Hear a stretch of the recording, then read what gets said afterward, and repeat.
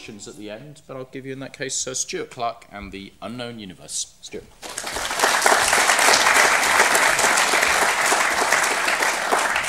Well, thank you very much, Robert, and uh, thank you all for coming. I notice um, how Robert optimistically says we're going to enjoy the next hour. So, um, so this is the um, this is the first time um, that I've actually given this lecture, although I have been thinking about these kinds of topics for a number of years now, and it really has evolved out of what I think it should be one of the defining characteristics of a scientist and that's skepticism.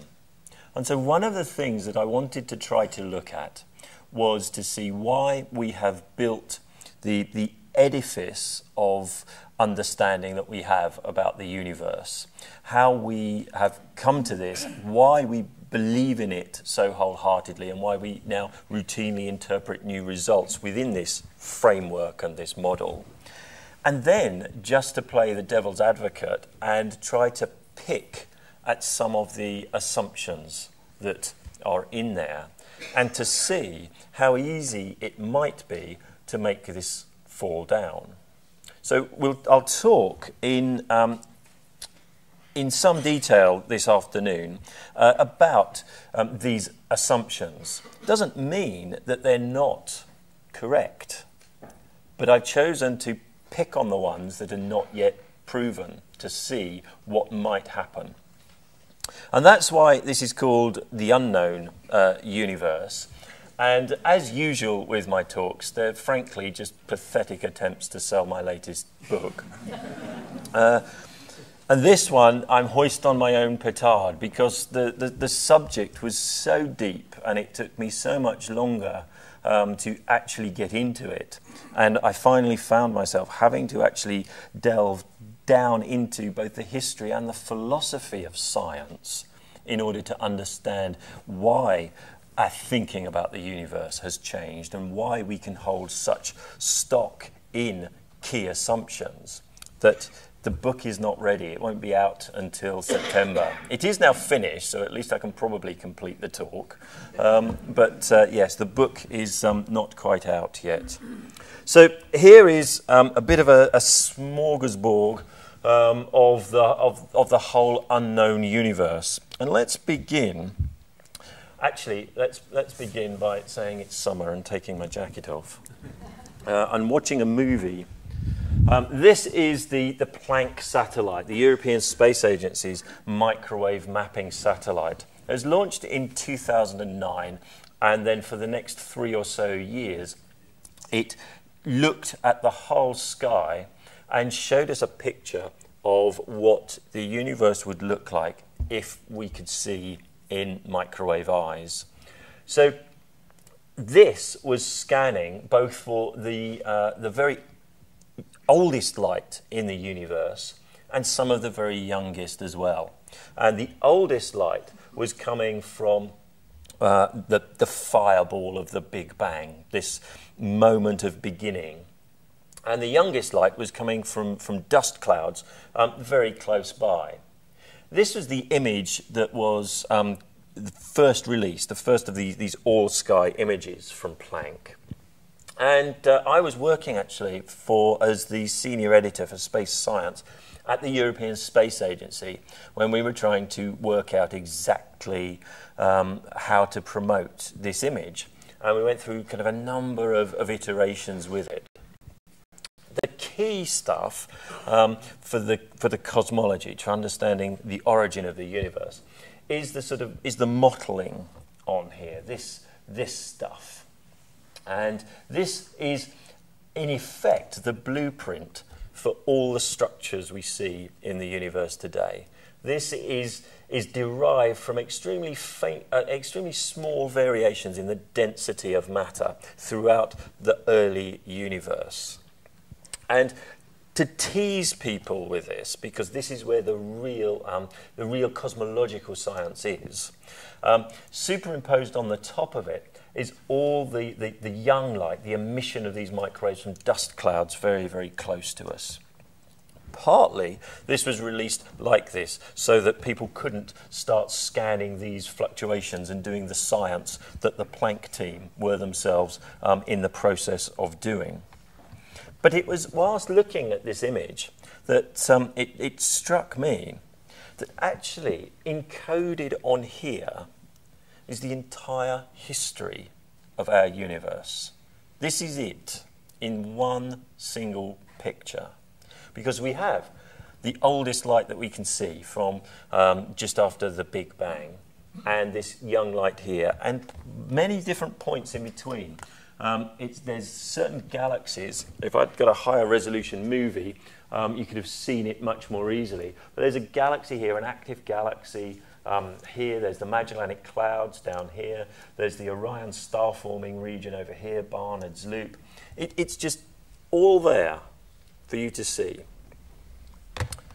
The question is, what does it all mean? And when we think we know what it means, how do we test it? And there's the key. You, science must be falsifiable. You must be able to develop a hypothesis which is testable. And what we were seeing on this image was really um, extremely interesting. When it was finally, oh, there we go. I did put a high resolution version. There's that um, uh, the active galaxy, Centaurus A, up there.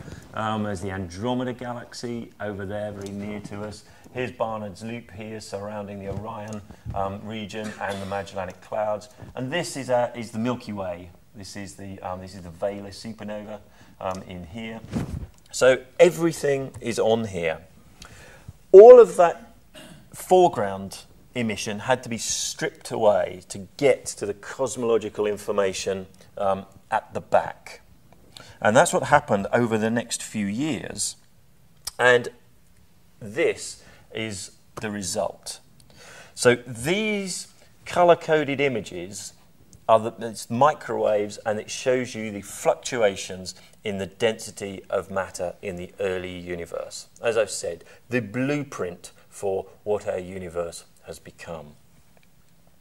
And in the course of our cosmology, what we have um, discovered is there appears to be a large amount of the universe that we can't actually see. So you've probably all heard of things like dark matter and dark energy. And this, so this image can uh, be modeled um, with computer simulations that try to work through the laws of physics that we know of to give us some kind of idea about how this kind of pattern comes about. And interestingly enough, when we do that, and we feed in the amounts of dark matter and dark energy that we think are in the universe today and the amounts of normal matter, the atoms, we still find that we can't fully reproduce this image. There's some anomalies on here. So one of them is down here. This is called the cold spot here. It's very unclear how we can get um, that image. A, it, it, corresponds to, some, uh, to a rarefied region of the, the, the, gas. The fluctuation is, a, is, a, is quite low there.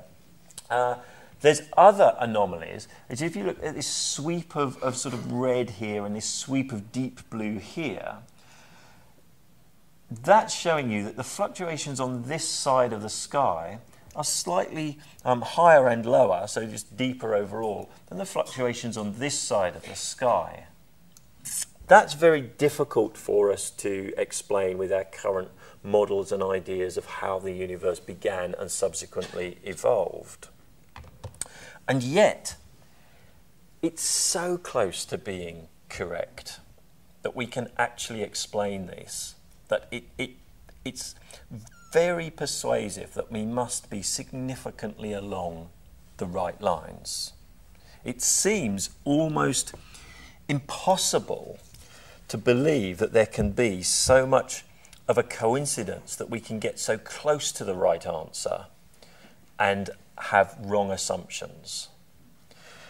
As I've mentioned, those assumptions are that the matter that we see just makes up a tiny fraction. So before Planck, um, the models suggested about 4.5%. After Planck, that went up a little bit. Um, then there's this dark matter, unseen stuff, particles we think, which we've yet to discover, that can come out of a plethora of particle physics theories. Um, they make up um, almost a quarter. Again, we, we, things move slightly differently after Planck. And then the majority of the, the matter and energy in our universe is, is this dark matter. It's something that we have no clue what it is. There's no natural fit for whatever this substance, force, energy is in our current theories of physics. If you think you're on the right lines with it in one direction, you throw something completely out in the other, as we'll discuss later on. And the more I looked at this, the more I thought, well, what we're doing here with these models, we put all of this all, all together in a big uh, in, in, a big computer simulation, and the amounts of, of matter, dark matter, and dark energy we then tweak and fiddle with until we get something, a simulation that looks similar to that Planck model. And on the face of it, that's absolutely fine. But what we've done is just include the only two things that a force can do. So dark matter gives us a little bit of pull. Dark energy gives us push. And then we're trying to balance that around what we know to exist, which is the ordinary matter. And at one level, that's absolutely fine. I mean, it's the obvious and the sensible thing to do. But it doesn't tell us a thing about what the dark matter and the dark energy actually are. And, and there's very little else you can actually do it, other than put some push and pull into the model. So we need to now try to understand what these things are, if they're real, and how they might come about. But before we do that, uh, let me just talk a little bit about models in science. So, science is about uncovering the laws of nature. Know, physics, the fundamental physics of the universe, is about developing these ideas, these mathematical descriptions of the forces of nature. And with those mathematical descriptions, we can start to investigate processes that take place. However, if we want to investigate um, an individual celestial object or a class of celestial objects, then it becomes a little more difficult. Say, for example, uh, that we want to investigate the interior of a star. Arthur Eddington in the 1920s had exactly this kind of ambition. And in order to make any progress at all, he actually had to redefine somewhat the way that science works. And he came up against great opposition from the physicist James Jeans. Jeans believed that, that, that, that the, that the um, crowning glory of science was its route to certain knowledge. And that meant the investigation of processes where you could see the input and measure the output. And the science part of it came in understanding what was happening in the process. In the case of a star, you can never see the interior of the star. So you can't measure the input, what's actually going on. So Jeans believed that trying to understand the nature of a star was not scientific. Eddington said you can make progress, but you have to relinquish the certainty with which you can know whether you're right or wrong. You can only start talking about probable circumstances. So you can, you can certainly measure how much energy comes out from the surface of a star. You can then use your knowledge of physics, the fundamental laws of physics, to imagine and to calculate likely processes that are taking place inside that star. And if you get a match to uh, the surface of the star, what you can measure, then he said, then you can have some reasonable confidence that you're on the right lines with what's going on inside. But you must, and he and, and Eddington was really clear in this emphasis. You must always be your own worst critic. You must always be highly skeptical of your model and always open to reinterpreting it, tweaking it and modifying it, or perhaps even throwing it out completely. Now, he was roundly assaulted for this, um, especially by Jeans, who said that this was, this, this was actually undermining the thing that made science as a route to knowledge a special, important thing. And Eddington sort of developed this, this, this idea of, of conviction science, belief in your model. Because what he was showing was that if you assumed, and it was an assumption, that stars were powered by nuclear fusion in their centers, then you needed a certain temperature for fusion to take place. And you could take um, the measurements of the mass of stars, calculate densities, and try to work out what that central temperature would be. And he found it was far, far lower than was needed to spark nuclear fusion. He was attacked for this and said, well, clearly the model is wrong. Jean, um, Eddington, however, said, well, that doesn't prove I'm wrong. In fact, let's turn it all around. I believe that this is the most likely thing that, that can power a star, nuclear fusion in the centre. Therefore, I challenge all of the naysayers to go and find me a place in the universe that's hotter.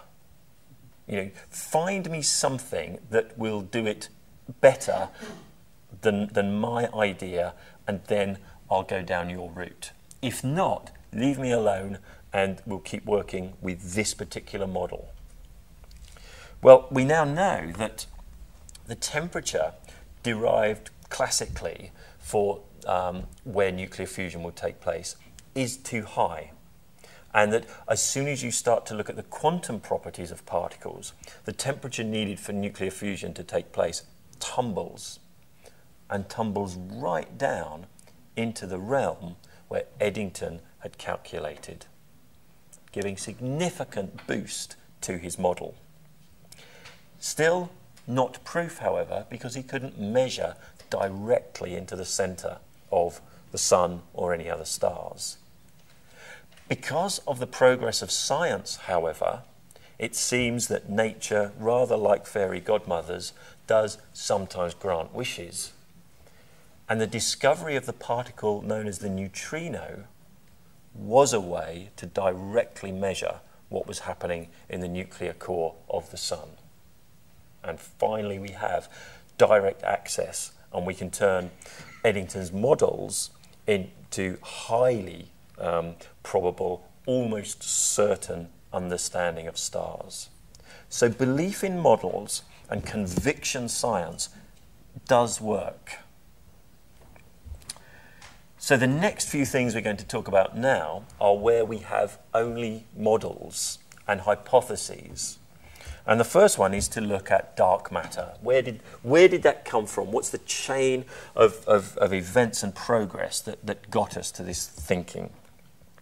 Well, I suppose it begins with um, Isaac Newton and 1687 when he managed to encapsulate uh, the force of gravity in just five mathematical symbols. His famous equation gmm over r squared, F equals gmm over r squared.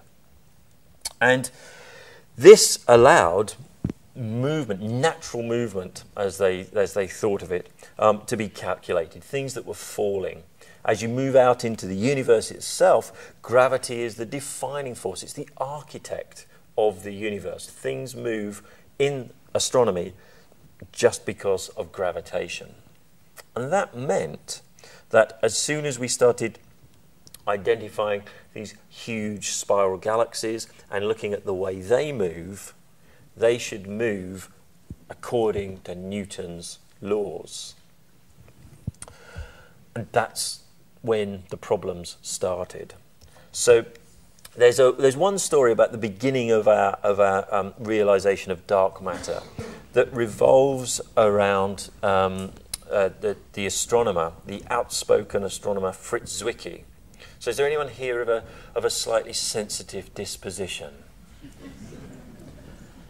Because one of Zwicky's favourite words was bastard. He would call everyone that as some kind of term of endearment. His students remember um, that uh, they arrived at his at his house, for, invited for um, for for, a, for a, a, barbecue or a little get together, and his wife um, announced them as exactly that saying that they're here, the bastards are here. if he really didn't like you, he'd add the word spherical to the, uh, uh, to the noun, because that meant you were one no matter what direction you were looked at from. but I digress. um, so Zwicky was just looking at the way these galaxies revolve around each other in these big clusters. And uh, what he found was that they were moving so quickly around one another um, that it was it, as if there was more matter in these clusters of galaxies than the, the stars could produce. You could, you could calculate how much gravity was needed to keep these galaxies bound and in orbit around one another and then you could calculate how much gravity they were um, generating based upon the amount of stars that you saw, and there was a huge discrepancy.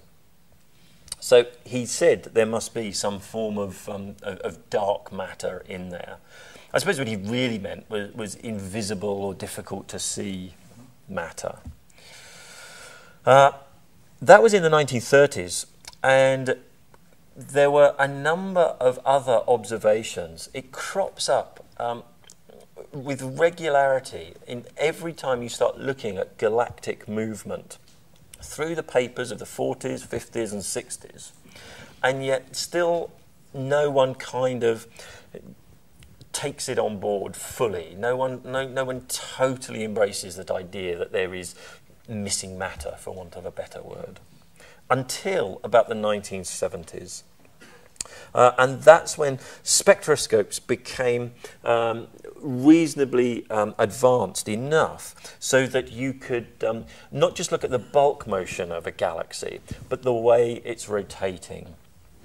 And here, um, what you expected was that the main bulk of the galaxy was at the center. So that's rather like the solar system, with most of the mass in the sun. And then all the stars on the outside edges are all more or less revolving around that main bulk there in the center. So you should expect orbits of the stars very similar to the way that the planets orbit the sun in the solar system. And that means um, quite quick orbits and quite high orbital velocities close by, dropping away to, to lower orbital velocities further away. Um, in fact, what was clearly being seen were rotation curves where the outer edges of the galaxy were moving as quickly, if not more quickly, than the stars in the interior. And this was a pattern that was um, followed for all, uh, across nearly all of the spiral galaxies and other galaxies that were looked at. So clearly, something is up you can do one of two things at this point. You know, you can say that this galaxy and all the galaxies have failed, um, that the, or, or the Newtonian gravity has failed to, to predict um, and explain these rotation curves. And at that point, you can do one of two things. You can say, okay, Newtonian gravity is wrong. It, it's only been tested on the Earth in relatively small astronomical scales with the planets in the solar systems, the nearby stars. Um, but on these much, much larger scales, something is different. There's, a, there's an unanticipated facet of gravity that, that we haven't grasped yet. Or you can say, no, I'm going to assume that Newton is right, even in these untested realms. And that means I have to then put more matter in. I need to, to if, if there's more uh, velocity, more energy in these stars, I need to apply a greater force to get them to move like that. And so you're driven down the line of more matter somewhere. Well, trying to flatten rotation curves and trying to come up with some sort of solution with matter distribution that would do this um, led to the idea that if you imagine that this is, is a spiral galaxy, here, this is the disk of the galaxy, this is the central bulge, um, then surrounding it is a huge sphere which gets called a halo. And that's where this, this dark matter is. That's pulling, that's pulling the stars in all directions from the disk and overwhelming this central bulge. So it's the halo that's helping define the way that the stars move. And if you do that, and if you do the, the very the simplest um, kind of distribution in this halo that you can imagine, which is just to put a uniform density of matter all the way through the sphere, it does uh, flatten the rotation curve and you get something um, that looks as if it's going along the right lines. So quite reasonably, you think, excellent. There's, there is the possible solution. So the next thing to do with this model is to think, well, what, what would make it more realistic? Well, for a start, um, understanding what these particles are would be, would be good. Um, before that, however, they're, they're clearly gravitating, so because they're pulling the stars. So you then start to say, well, okay, I've just done a uniform distribution what would a more natural, more realistic distribution be like? And of course, if they're gravitating, they're going to clump. And mainly, they're going to clump towards the center and get more rarefied as you go outwards. As soon as you start doing that, the flat rotation curve breaks and the fit gets worse. Okay, you say, there must be some properties of whatever these dark matter particles are that help keep it more rarefied and stop letting it be, be so clumpy. And you can move to models where there's uh, they're, where they're um, lower mass but moving more quickly, for example. So in all these ways, you suddenly start inch by inch down a path where you feel like you're getting to know a huge amount about this unseen substance. But all the time, you might be walking down a cul de sac. Now, confidence in this idea that there was dark matter and that there, there must be undiscovered particles of nature as coming from particle physics at the time. If you're a particle physicist and you want to develop an idea about how a force works or how forces interrelate with one another, your stock in trade are particles. That, that is what you use, that's your currency. And the history of particle physics over the 20th century was that hypothetical particles discovered through theoretical calculations were then being discovered in laboratories. The neutrino that we talked about, for example, predicted on paper first. Antimatter predicted on paper first other particles as well. This was a clearly tried and tested route of particle physics, extremely successful. And what they were saying was that there were the possibilities for other undiscovered particles. As you try to understand where all the forces of nature come from and how they interact. And this seemed to be exactly what the astronomers would need to make up their dark matter. Now, the trouble with all of this is that the dark matter itself must be, um, uh, must be not very reactive. The best form of uh, the, the or, or, the the most likely, the best candidate for the dark matter um, that we have at the moment is sort of known as the WIMP. And that's a weakly interacting massive particle. It's weakly interacting because it uses this force of nature known as the weak nuclear force, which is the same force used by the neutrino to interact. So if you can build a neutrino detector, possibility exists to build a WIMP detector as well.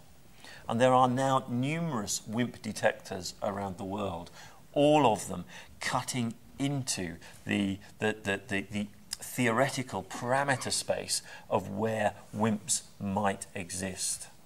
And some of these detectors, they use sort of um, crystals, some of them, to um, see the, uh, the, the, recoil of a, of a nucleus from an atom when it's occasionally, very occasionally, hit by a WIMP. These are some of the detectors here. Some of them appear to be seeing something, but they're not the kinds of WIMPs that theory is telling you that they should be. They seem to be much lighter. Also, one dark matter experiment can see something, and another one, just sitting next to it, um, sees nothing. Sometimes they're even made of the same detecting crystal, and they're not seeing the same as one another. So it's all confusion. We may get some clarity reasonably soon. The Large Hadron Collider um, is starting, or has started up, and one of the um, best routes for particle physics to produce uh, these WIMPs is through something called supersymmetry. And this is a hypothesis um, that would um, mean that there are vast swathes of other particles in the universe. The Large Hadron Collider should make them, um, if you want sort of technical um, quantification, it will make them by the bucket load. Um, and they will, they, will, they, will, they will spirit energy out of the, of, of, of the reaction. You'll, you'll catch all the known particles in the detectors, and then these WIMPs will just pass through unseen, and you'll see that in a deficit of input energy against output energy. If they see them, it's, it's profound, it's extraordinary. Uh, it doesn't quite mean that they will be dark matter particles. They might just be um, particles that make these forces work, but there might not be enough of them to be the dark matter. They might not be long-lived enough. They might be too light. So, but if they see them, it's, it's an incredible thing. It would also mean, as we'll talk, it will also have profound influence on um, a thing called dark energy, which we'll look at in a second. But just one thing to mention before we leave dark matter behind, and that's when I said to you that if you you know, if you don't want to believe in dark matter, then it's, it's a modification of gravity. Um, dark matter comes about because of this assumption that Newton's gravity holds throughout the universe on these weak scales. If you don't believe that, however, and that gravity may change, may modify itself in some way, um, can you get any further down the line there? Well, an Israeli physicist called Mordecai Milgrom um, attacked this problem and he said, What would I need to do to Newton's laws um, in order to make them fit the rotation curves of the galaxies? Um, is there some simple change to that force law? And he found a very simple change. And it's a tiny extra term that sits on Newton's equation. It's so small, this term, that it's negligible on everyday scales of gravity. It only comes into play, according to Milgrom, in the kind of gravitational field that's generated by a sheet of A4 paper. And if you were to put a sheet of A4 paper into empty space, the gravitational field that that would generate would not quite follow Newton's law. It would be slightly stronger. Decay, the inverse square decay of Newton's law would, would, would level off a little bit, meaning that in the very outer reaches of a galaxy where the stellar density is extremely low and stars are very, very far away from the galactic center, you could reach these modified Newtonian dynamic limits, meaning that gravity would pull you a little harder and the stars would travel a little faster. And when Milgrom put this um, equation into, uh, into action, he found that these are the data points for rotation curves of a typical galaxy. This is um, what just Newton's law gives you. The red line is the approximate fit you get from Newtonian laws with extra dark matter in some kind of halo. The modified Newtonian dynamics fits the best. But what does it mean? Where does it come from? As yet, there's no route to understanding where this might come from, from theory. What it may be it may be telling you that this is the behavior that you need to um, approach with dark matter. Maybe it's telling you that this is some sort of way that dark matter behaves and that we need to get it to, to, to do this rather than just assume it's just a, a powerful you know, gravity sort of generating device. Or it's telling us that there's a modification of gravity out there to be found that we haven't seen yet. Well, Let's um, quickly move on, as time is pressing, um, to this dark energy. So here, um, in the mid-90s, uh, groups of astronomers were um, measuring the expansion rate of the universe. And they were looking to try and quantify the amount of matter that was in, uh, in our cosmos by looking for the rate at which the expansion slowed down over time. They were looking and gauging distances by using a special kind of supernova, an exploding star, in which gas from one star is fed down onto a white dwarf star, which tips it over a very specific mass limit, the Chandrasekhar limit of 1.4 solar masses. That means that as it tips over that limit, the white dwarf star collapses, igniting a cataclysmic nuclear explosion. Because it always happens at that mass limit, more or less, the explosion, the brightness, the luminosity is pretty constant. So these are great standard candles for seeing through the universe. And what they saw is when they looked at the furthest sweeps of space, it seemed that the expansion was actually going more slowly in the past than it is today. That was exactly opposite to what they thought they should be seeing faster expansion earlier on, and then because of the action of gravity holding everything together and slowing down that expansion, slower in the modern day. But no, that's not what they saw. So, what is it that's, that's accelerating the expansion? Is this a new force of nature? Or is this gravity behaving in a different way again, something away from Newton's ideas of how gravity behaved. There's another idea is that it could be energy in space, something that Einstein toyed with. And of course, it's, frankly, it's astonishing. We've got 40 minutes into a cosmology talk without mentioning Einstein yet. Um, so let's do that right now. So Einstein is famous for developing a new theory of gravity, one that extended Newton's ideas. And if Newton's idea was that gravity was like the tension in a piece of string connecting two objects, Einstein's idea was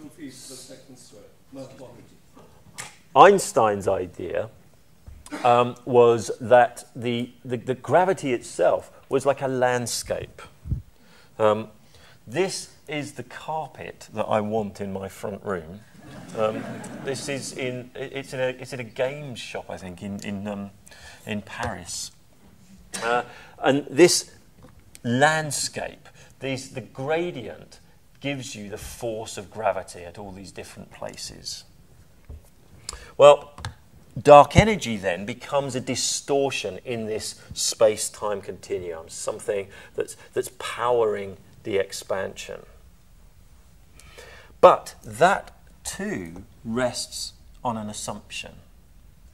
And that is that in order to solve his equations of general relativity and get a solution, Einstein assumed that the density of matter and energy was the same everywhere. That's still an assumption that is thought by most to be absolutely valid today.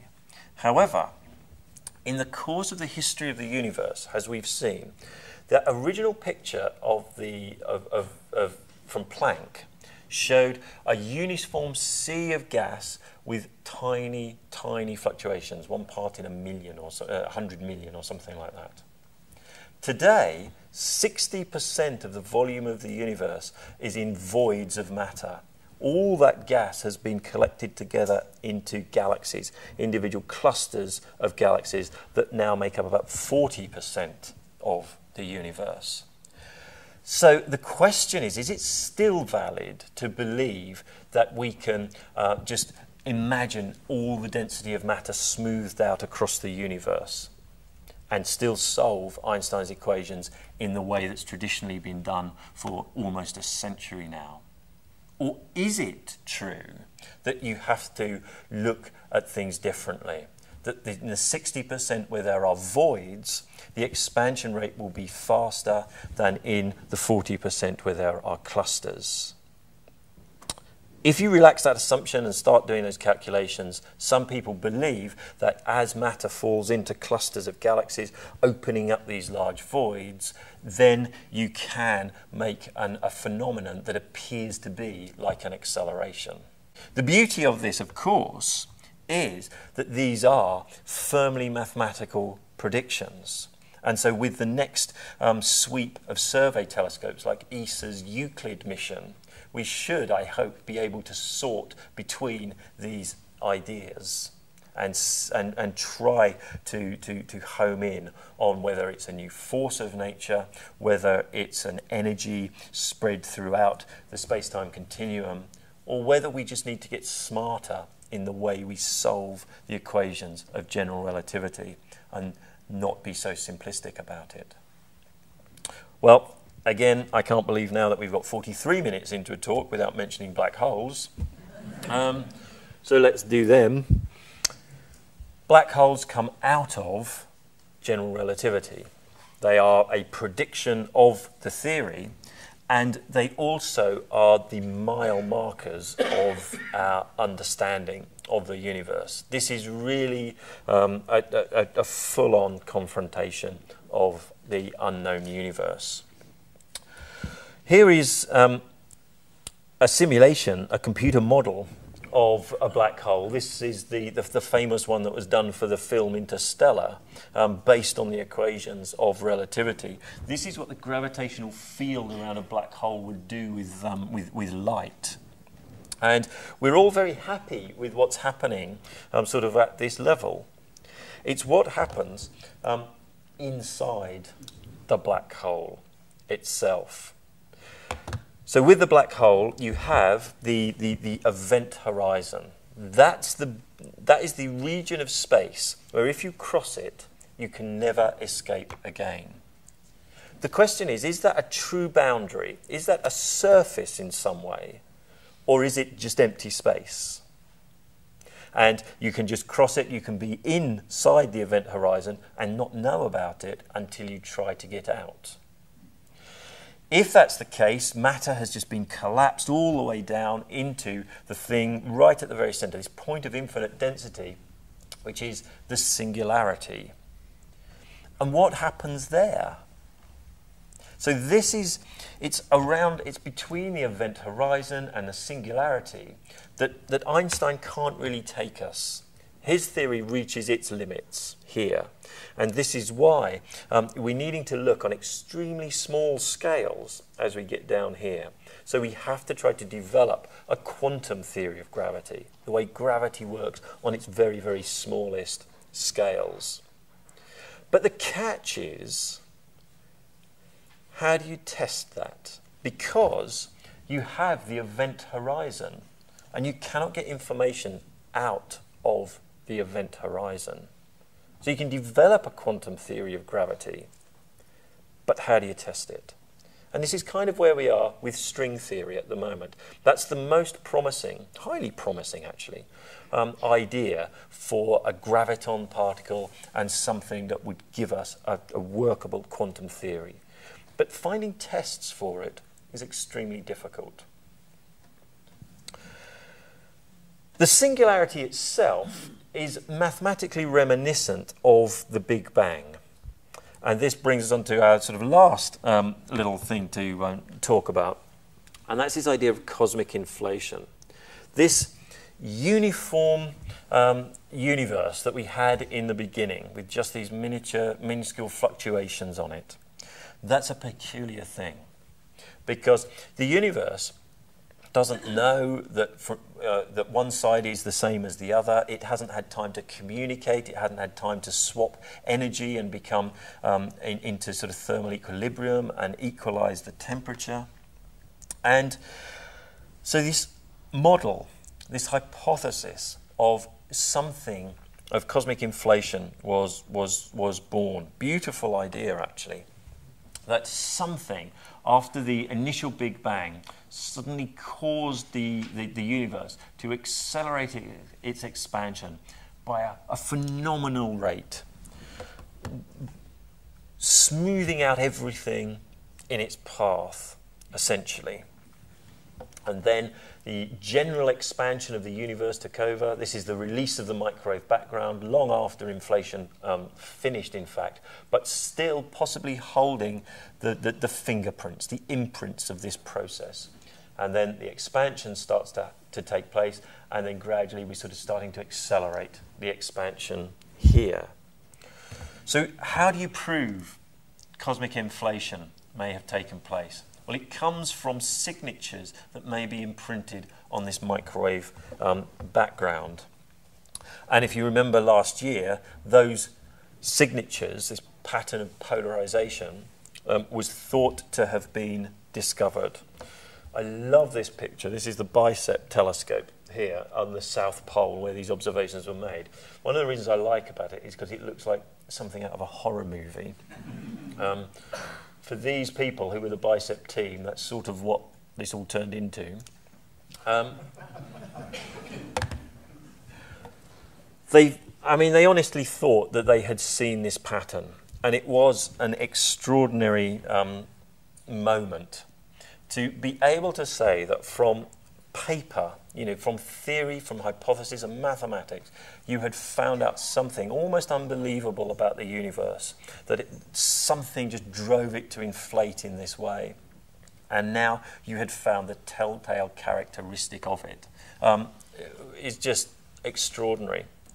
But the very night um, of the announcement, and I'd been working on it um, for almost a week because I'd been given a tip off um, about it the week before. I got a phone call from, uh, it was really late at night, but I got a phone call from a, a, a, a highly respected cosmologist. And, or an email rather, uh, very late at night. And um, he just said to me, in all this euphoria, no one's realizing the downside. And the downside is that inflation takes anything and turns it into this featureless universe from which ours then, from which gravity does its thing, and we get our cosmos out of it. So what that means, however, is because it can take anything and render it featureless, featureless, you can never know the details of the Big Bang it's like having that singularity in the black hole surrounded by the event horizon that you can't get information out of. If cosmic inflation is true, then it means that there are probably hard limits to the knowledge that we can have about the origin of our universe. And that this era of quantum gravity, oh, just up in here where the Big Bang took place, this other era where quantum gravity is really, really important and the dominant thing, is probably lost to us, impossible to probe. So, again, even if we fully develop quantum gravity scenarios, how do we test them? How do we turn it actually into science? Or have we reached the limits of that and now we're in the realm of mathematical belief systems? I therefore breathed um, a, a, a, hearty sigh of relief um, when it was discovered that actually the, the BICEP um, results were the result of, of this dust, um, the microwave emission from the dust in front of um, the cosmological signal. So cosmic inflation has not been proven. Uh, the, the, the, paper is, um, uh, was rewritten, the results were re- represented. It could be that there are a number of other uh, uh experiments looking for this same signature. They could see it any day, in which case cosmic inflation is true. It is the most extraordinary human achievement to have discovered that, but it puts a very hard limit on, the, on, on science and what we can know about the universe. And the final thing um, to leave you with is that, um, as I've sort of indicated throughout all of this, we have based our understanding of the universe on a series of assumptions. And we have developed those into a model, the standard model of the universe, in which there is 4 or 5% of normal matter, a quarter of the rest of it is dark matter, two th- uh, another three quarters almost is dark energy. But it's just a model. It's just a model. So the final thing is just to beware of models, beware of assumptions, and be skeptical, and not to be afraid of empiricism. Not to be afraid of, of finding mathematical descriptions which don't yet come from theory and paying full attention to them. Because back in the first decades of the 17th century, Johannes Kepler derived three laws of planetary motion. None of those laws was based in theory.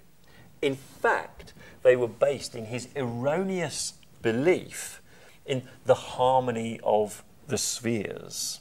That actually the universe had to be beautiful because it had been crafted by God Himself. And yet, these laws hold absolutely and were subsequently explained by Newton's law of gravity that gave it the theoretical underpinning. Same for relativity. The Lorentz transformation, which is central to special relativity, was developed by Lorentz before it was given the theoretical underpinning of relativity. So let's just be skeptical. Let's constantly keep thinking that we might be on the wrong tracks but let's also keep our fingers crossed for um, the first detection of dark matter and a true theory of what dark energy might be. And if you can wait until September, um, then you can read all about it. Thank you.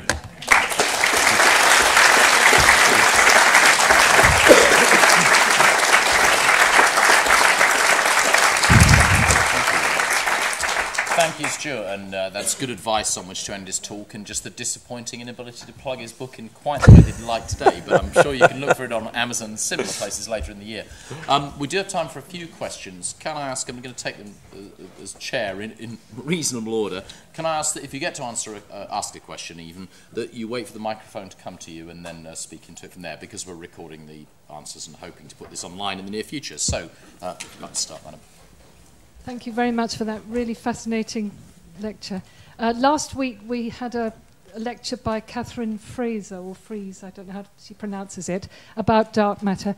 And she ended by saying that it's possible that dark matter actually isn't made up of particles at all, and that we might need super, superhuman brains to understand it.